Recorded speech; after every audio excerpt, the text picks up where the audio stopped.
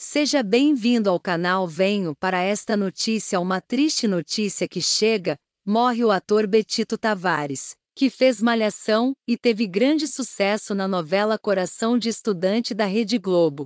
Já peço que deixe o like no vídeo e se inscreva no canal, ative o sino de notificação para não perder nenhum vídeo postado no canal. O ator Betito Tavares, conhecido pela novela Coração de Estudante, morreu aos 42 anos. Ele enfrentava há pelo menos 10 anos enfrentando doença de esquizofrenia, transtorno mental que causa delírios e alucinações, o que lhe afastou da TV e dos palcos. Em entrevista, a também atriz Milena Tavares, de 44 anos, conta que o afastamento do trabalho proporcionou uma tristeza profunda ao irmão, que viu as portas serem fechadas à medida que o transtorno evoluía. Ele se sentia sozinho e tinha medo de ser desprezado. É a primeira entrevista que Milena fala sobre a trajetória do irmão e a partida precoce dele a fim de conscientizar as pessoas sobre o estigma em torno das pessoas que vivem com transtornos mentais.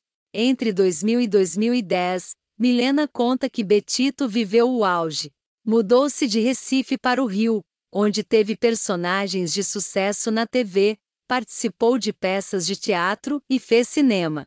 Milena o definia como uma pessoa íntegra que instigava e empolgava quem estava por perto. Mas a história mudou na década seguinte com a esquizofrenia. Nem Betito, nem a família perceberam o transtorno no princípio, o que atrasou o tratamento e agravou sua intensidade. A família ainda teve dificuldade de convencer Betito de que ele precisava de ajuda. A irmã acredita que Betito decidiu tirar a própria vida. Foi difícil cair a ficha de que havia um problema psiquiátrico. Quando a gente percebeu, foi difícil fazer ele entender que tinha. Ele não aceitava o problema. Quando a gente conseguiu fazer algo, já estava um pouco avançado. Passamos os oito anos tentando, mas era bicho solto, cavalo selvagem que não dava para prender. Não queria o tratamento, diz. Ele ficou internado durante seis meses somente no ano passado, época em que começou a se medicar.